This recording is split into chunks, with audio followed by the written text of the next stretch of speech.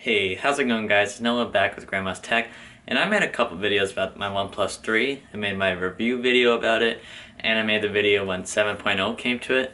But one thing I didn't really go in depth in in either of those videos is the customization that you can have with this phone. So that's what I'm going to be doing today. If you have a Pixel or a Galaxy S7 or any other phone and you see someone else with your same phone, they're going to have the same software. It's going to look exactly the same. But with this OnePlus 3, you can meet someone else with a OnePlus 3 and your software can look completely different because of the customization that you can have. So right now I have my phone settings and my appearance as stock Android looks on a Pixel or a Nexus, but now I'm going to go through and customize everything that I can and it'll look really different. So the first thing you can customize on your OnePlus 3 is the quick settings. And I might have gone over this a little bit, but basically if you go in, you can change where things are and where things, how things are organized. And most importantly, you can change what shows up here on your top five. So right now I have like Wi-Fi and cellular, some other stuff. But if I wanted NFC up there, I could put that up there. And there, then I got NFC up there, quick toggle, oops, quick toggle for NFC. So that's that with quick settings. So now if you go into settings, you're able to change the theme. So if I go to display, then I go to theme, there's a light, there's a light mode, which kind of makes it, oh, it makes all the dark, previously stockish dark, it makes it white. So that's, it's a little too bright for me. So I'm going to go with the dark. So now with the dark theme, you get you get parts and settings and in the OnePlus launcher that are pitch black. And what's good about the pitch black is that everything on the screen here that's black, the pixels aren't being lit at all, and that's because of the AMOLED screen. So that actually helps save battery when some of the pixels aren't being lit. And in this dark mode, you can also go back to the display settings and you can change the accent color too. So I'm going to make it green for this example. Click OK. It'll change the theme and now you see everything where it used to be blue it's now green. And that's evident up here too. You see the quick settings are green. Everything here is green. So I'm not a big fan of the green, so I'm going to change it back to blue.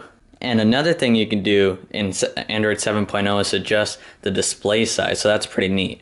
So if you're someone who can't really see that well, you can put your display size all the way up to large so you can see your text and apps and everything nice and big.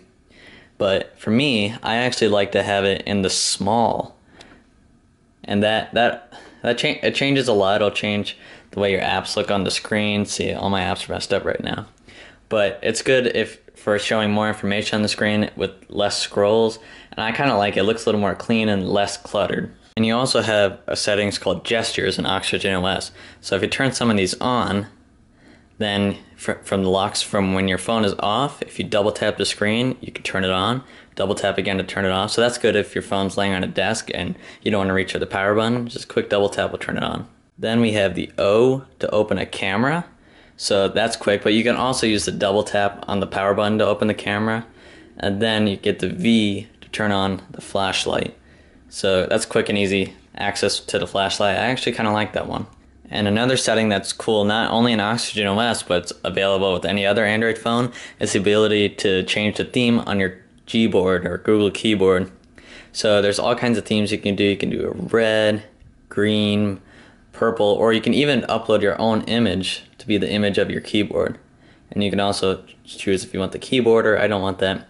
But I actually like the dark theme, or this dark theme right here, the pure black theme. I think it looks really well and I think it looks pretty good. Here you can see it here.